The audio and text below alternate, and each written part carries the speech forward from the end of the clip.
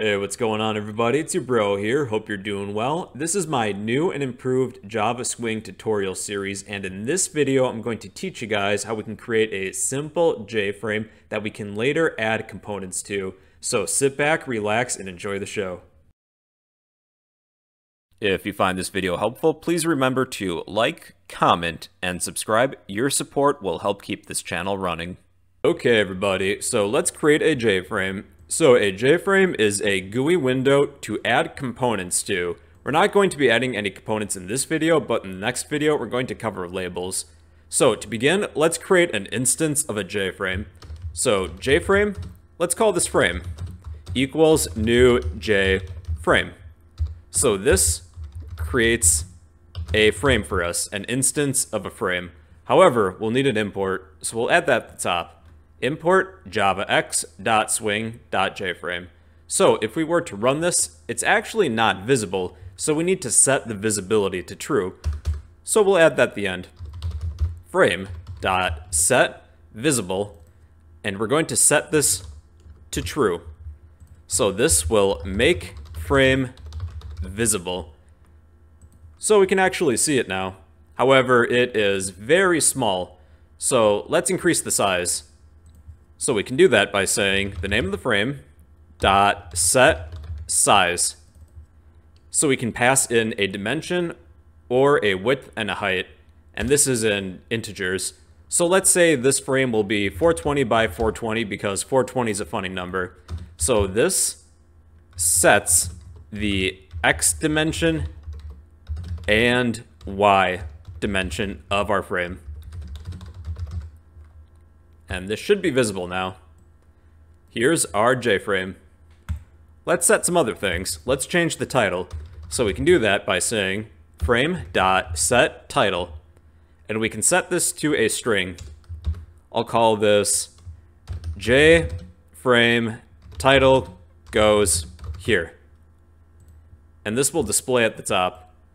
So set this to whatever you want your title for your window to be. So this sets title of frame.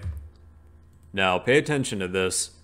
So when we hit this X button in the corner, it's going to actually hide our frame, but not actually close out of the program.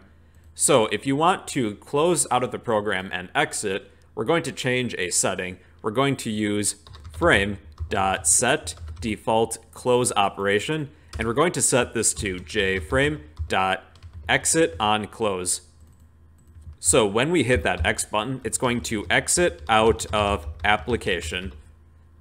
And by default, it's normally hide on close. So it appears that we killed the application, but it's still running in the background. Otherwise, there is do nothing on close, and you can actually prevent somebody from hitting the X button to close out of the frame, which is actually kind of annoying, but that's how you can do that. But let's set this back to exit on close because we want to exit out of the application when we hit that X button. Now, another thing that we can do is that we can resize our window. So we can actually prevent that. So we're going to say frame dot set resizable false. So what this will do is prevent frame from being resized. So we can no longer resize this even if we tried. We can no longer make this full screen either with the maximize button. So here's something else for you guys. How do we change the icon for the top left of our frame window? Normally it's the Java logo, but we can actually change that to something that suits our program better. So I'm actually going to use the logo for my channel and change the icon from the Java logo to my logo. So, if you want, feel free to pause the video and download an image that you might want to use. Here's my logo. I'm going to change the icon of my frame to this logo instead of the default Java logo. So what I'm going to do is copy this, go to my project folder, and then paste it. So then we're going to create an image icon out of this. So image, then icon. Let's call this image just image equals new image icon. And then we're going to list either the file path or the file name.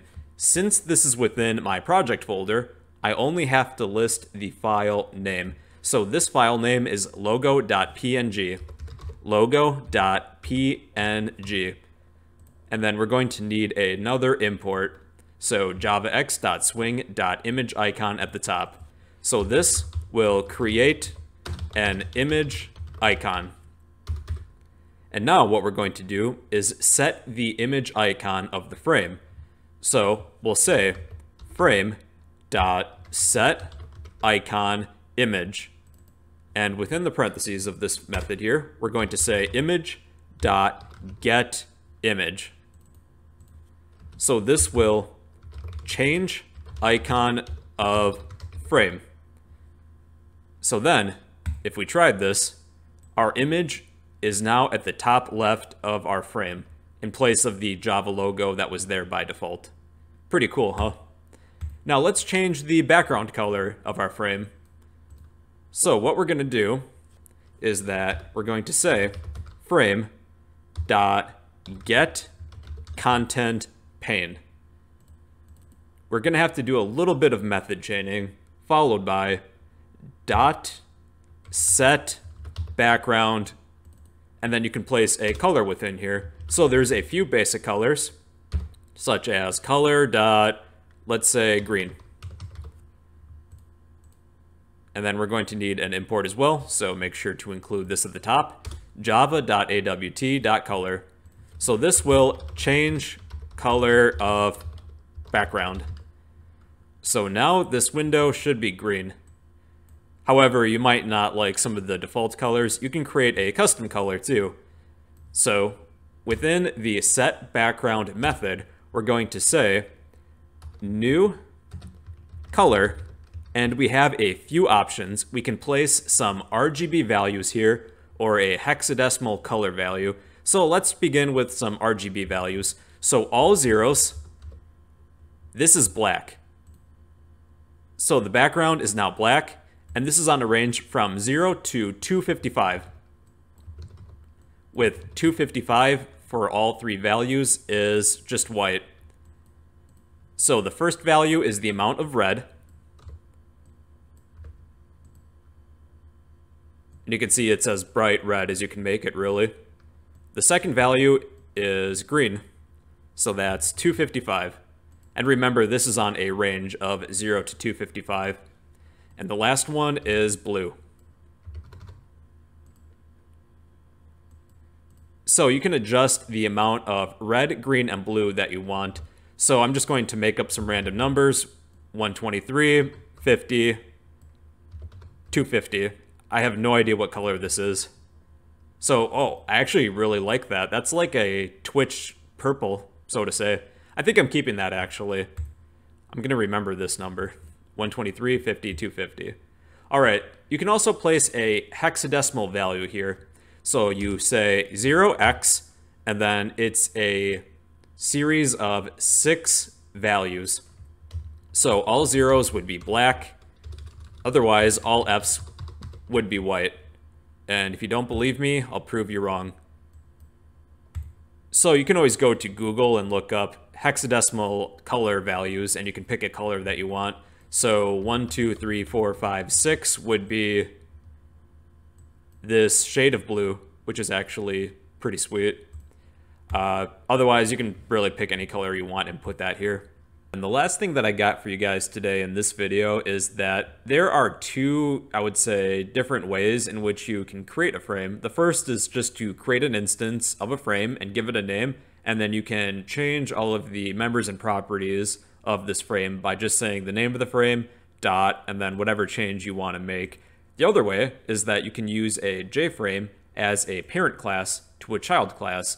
So I'll show you how to do that because I do this quite often in this tutorial series. So what we're going to do is actually create another class that's going to be a child class of JFrame. So go to your source folder, then go to File, New, Class, and I'll call this My Frame. So My Frame extends JFrame. This is the subclass, or child class, and JFrame is the parent class, also known as the superclass then we're going to need this import at the top as well. So the other way in which we can create a JFrame, I'm actually going to copy this, turn all of this into a comment because we won't really need it right now. And then I'm going to create a constructor for my frame. So this constructor is going to be called when we create an instance of my frame. And I'm going to paste everything within here. However, we're going to replace the name of our frame and take out that line as well. So instead of saying frame.setTitle, we're actually going to replace the word frame with the word this. So an easy way that you can make these changes is go to edit, find replace, and we're going to replace frame with this and replace all. So replace the word frame or whatever else you called your frame at this point with this. And we're going to create an instance of the myFrame class. So we'll do that here. So we're going to say my frame instead of JFrame. And let's call this my frame equals new my frame.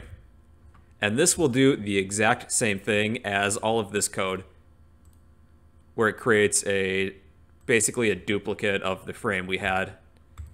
So you don't necessarily need to create a name for this instance if you don't plan on using this name for anything. So one thing that we can also do is take out this portion of the code if we don't really plan on using the name or a name for your myFrame. You can just say new myFrame, and this works as well.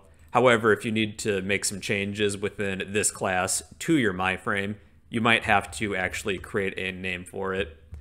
All right, so that's the basics of frames in Java. If you'd like a copy of all this code, I'll post all of this in the comments down below.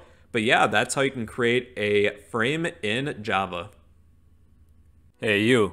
Yeah, I'm talking to you. If you learn something new, then you can help me help you in three easy steps by smashing that like button, drop a comment down below, and subscribe if you'd like to become a fellow bro.